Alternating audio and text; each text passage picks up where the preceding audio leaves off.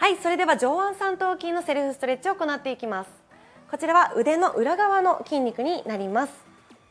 姿勢が歪んでしまっている方々はこの上腕三頭筋の筋肉も硬くなってしまっていますので肩の疲労だったり不調につながってきます。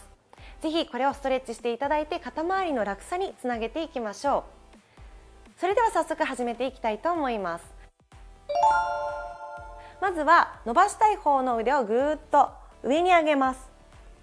で肘を曲げていただいてその肘をですね反対の手でキャッチしてください。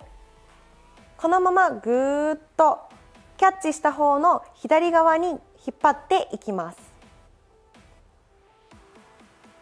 はい。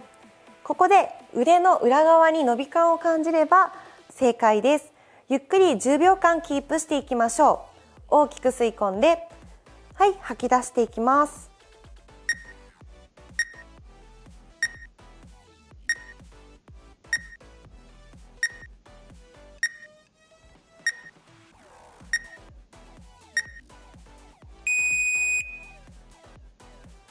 はい伸び感感じられましたでしょうか？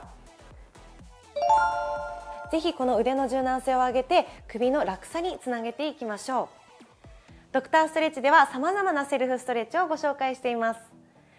1回だけに終わらずにこれを習慣化することで辛くなりにくい体を手に入れましょう。